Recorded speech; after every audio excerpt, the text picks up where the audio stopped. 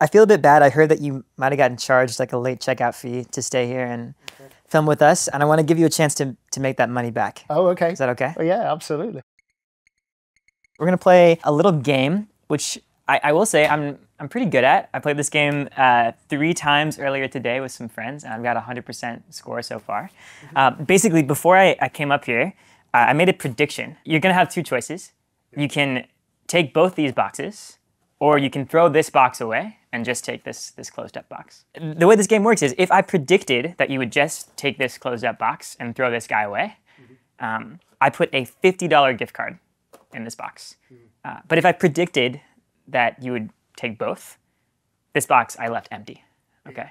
Uh, and you'll notice this box, it's, it's not got nothing in it. It's a little five dollar gift card. It's not bad. Okay. Um, so there's, there's some value in it. But I made my prediction, it's already done. Um, so there's nothing more on my end. Uh, and I, I don't know you very well, but I, I have a buddy, Rob Miles, who I think goes way back Okay, with you, like since, you know, 2019 or something. 2014, I think, was our first video. Uh, okay, 2014. Wow. If, if he's not picked up on my mic, he's 2014. Wow. Yes. And Rob's cut his hair at least once since then. I don't know if that's ever happened. okay, right. So I've got to make a choice here. So, Gotta make a choice. So um, I don't know if you've You, seen, you're welcome to ask me about like you know how this has gone before if you want. Okay. You don't have to fight that in. So there but could yeah. be some information there. yeah, yeah. Um, I don't know if you've seen the film The Princess Bride. I have. It's been a while. Okay, so there's a sequence with poisoned chalices. All I have to do is divine from what I know of you. Are you the sort of man who would put the poison into his own goblet or his enemies? Ah, that's right. That's right. And it reminds me of that. 50 bucks. Or not 50. Five or 50 is my choice here, basically, I'm thinking. Well, I mean, zero. Or there might be zero. If you've predicted, yeah, okay. so here's the, here's the thing. It's not like you're choosing one or the other. remember? yeah, there's a Uh, guaranteed five if I take both boxes, right? Yes. Yes. Like this is this is money in the bank. 55. Yes. Right. Or we gamble and just have uh, either nothing or 50, yeah. depending on. Oh, Yeah. man. Correct. And this goes in the trash. Right. I will point out to anyone watching this that I am slightly jet lagged. Um, I- and, and because of recycling, I'm going to take both boxes. Because of recycling. Yeah, because you just said you're going to go in the trash otherwise. So I'm going to take them. I'm going to go and recycle them. Fascinating. All right, man. I you know I I was really yeah yeah yeah no. Uh, you. You've, you've beat the system. You get both. You get the 50 and the 5. I I did not have recycling in my forecast of what was going to happen. Just run this through. So you predicted what? So I predicted that you would just take this box Mm-hmm. and throw away this one.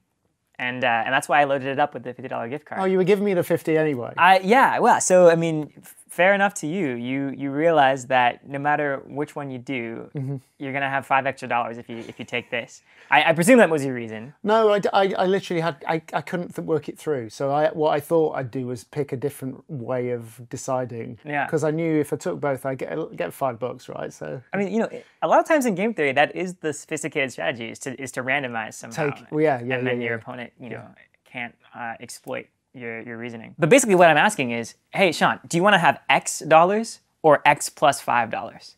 okay. And no matter what X is, I would think X plus five sounds a little better. Yeah. Okay. Right. Yeah. So Uh, take both. Yeah. So I mean, yeah, I don't know if I if I put it that way, does it does it still feel like a hard choice or? yeah, but X could be zero or it could be fifty. But yeah, But why not take the extra five, right? why not take the extra five? Because th- yeah, yeah, you may as well. You I think my thought was also if you take both, you've got a guaranteed five. But I don't know what you've thought about what I. It's very natural to say, okay, the the thing I want is to have the fifty, mm-hmm. right? And the way I get that is by being the kind of person that would just take the one box, right? And so it's it's very tempting to sort of mm-hmm. jump into my head and say, what, how is Aric modeling me? Yes. You know, what does he think I'm going to do? I want to do that.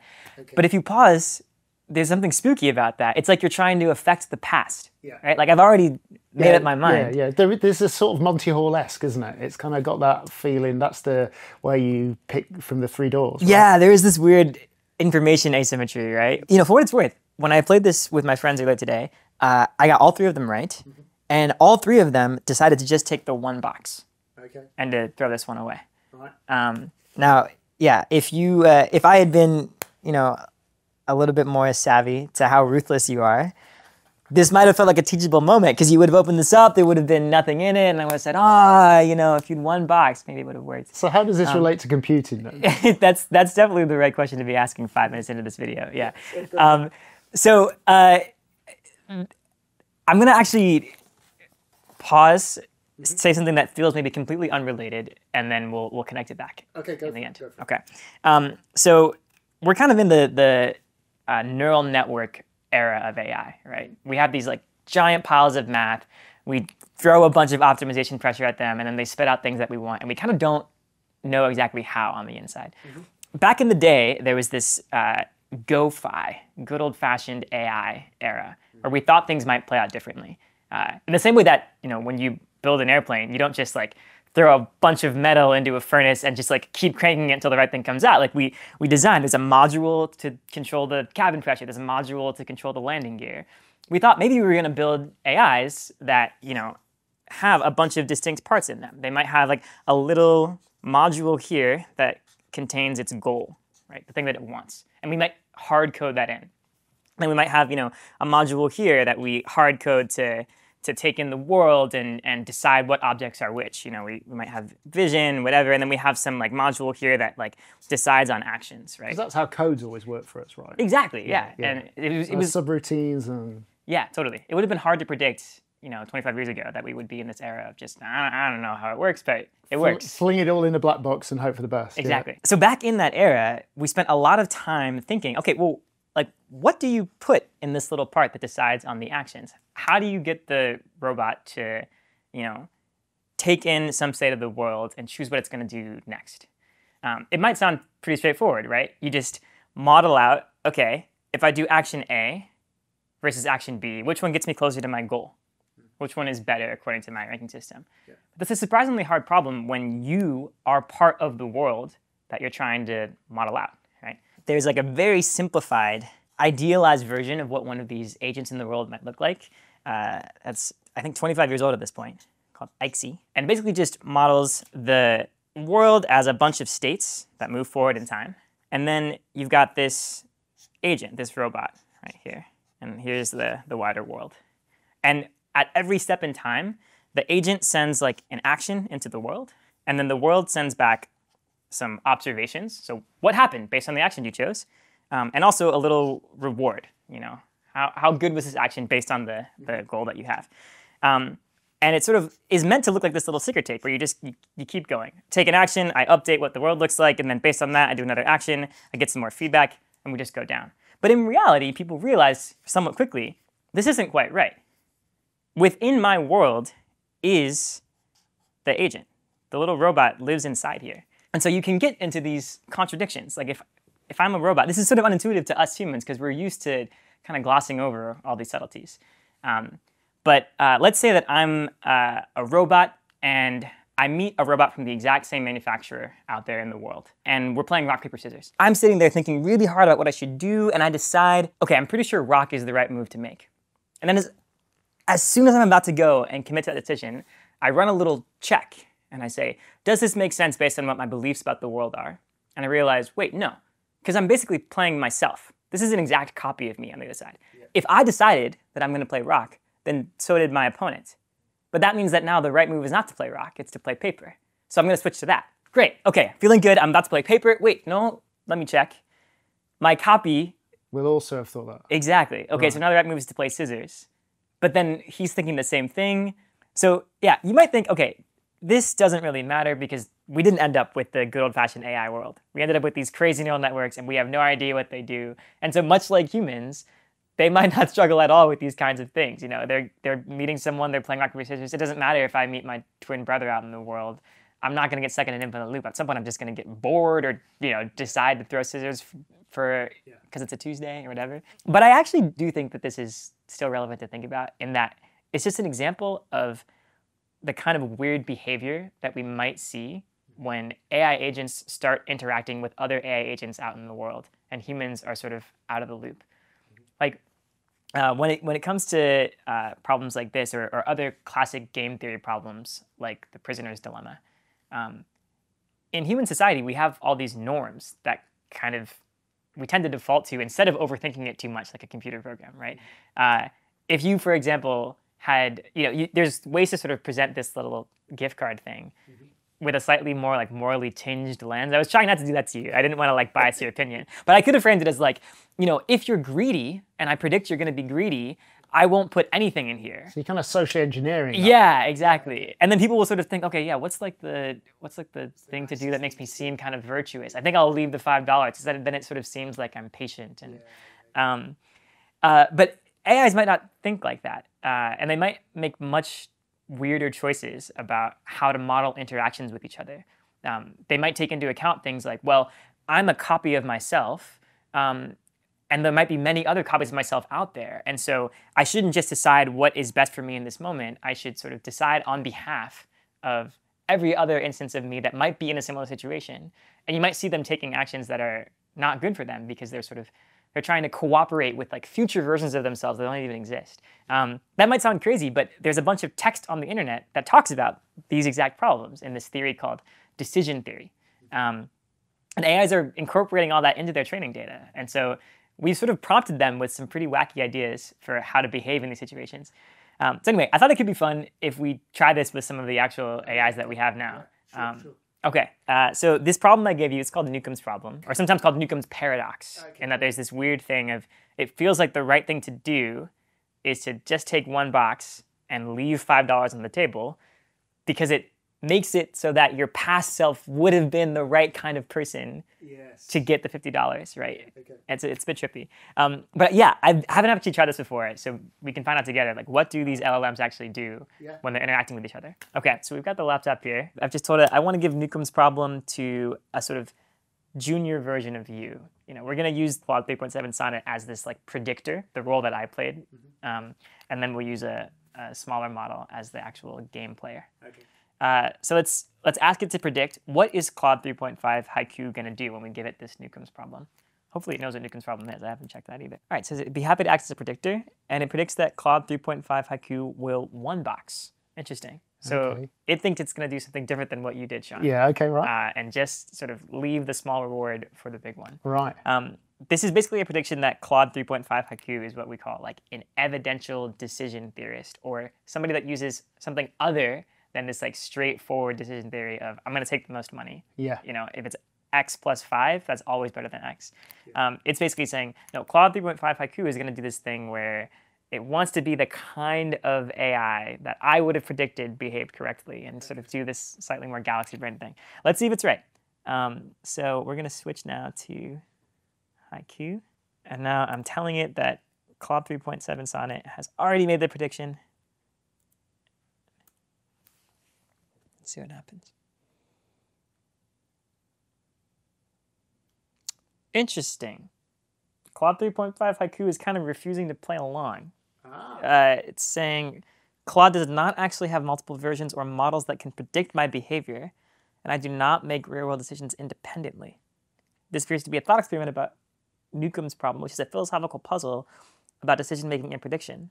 Huh. All right. It's it's just kind of it's trying to avoid the prompt here. I I feel like we should Double down. Double yeah we should double down. I know you aren't in the real world. The only choices are to one box or two box. Go ahead. Which do you do? Trying to be encouraging, you know.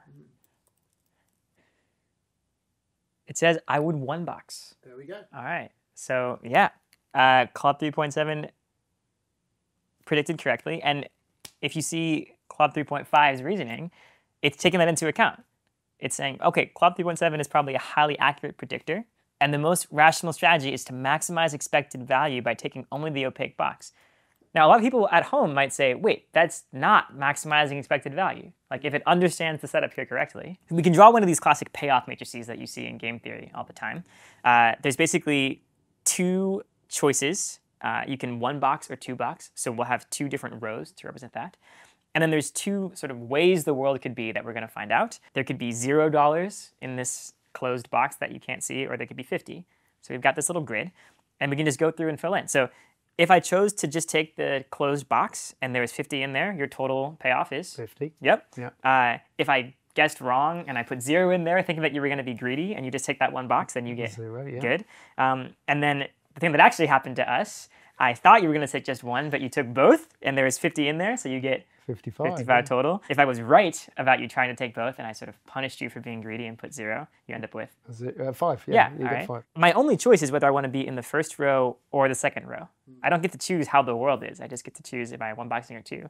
And if you just look, no matter which way the world is, if it's the world where I put in fifty dollars, it's better to be a two boxer. You get five dollars more. If it's the world where I put in zero dollars, it's also better to be a two boxer. You get five dollars more. So you might think, well, Claude has no idea what it's talking about when it says it maximizes expected value to be a one boxer.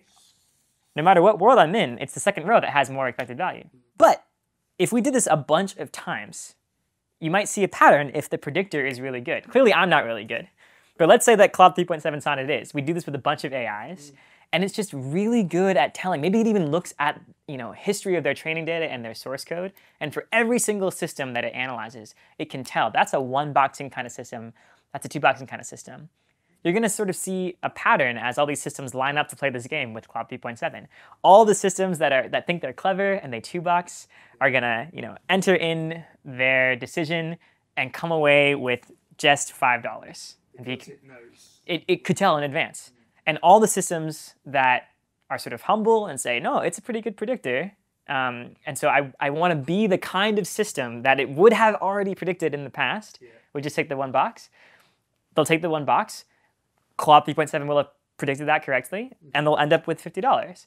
And so if I'm an AI watching all this happen, you might start to think, okay, I mean, it, it sort of seems like I just get to choose which of these two groups I'm in. There's, there's nobody who is getting predicted incorrectly. Hmm.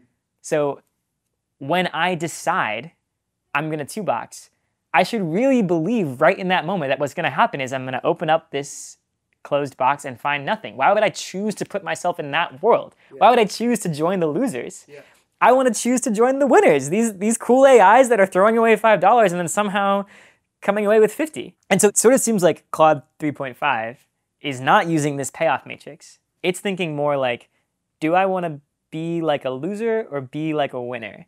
Even if I don't have a clear story for how I'm actually like affecting the prediction, I want to be the kind of system that gets predicted in the way that gives me the most value.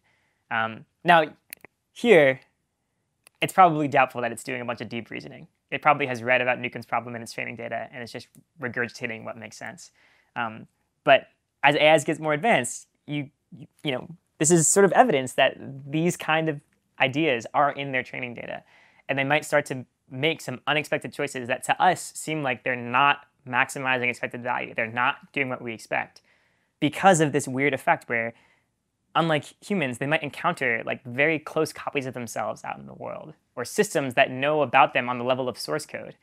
And that, that makes for some really weird dynamics.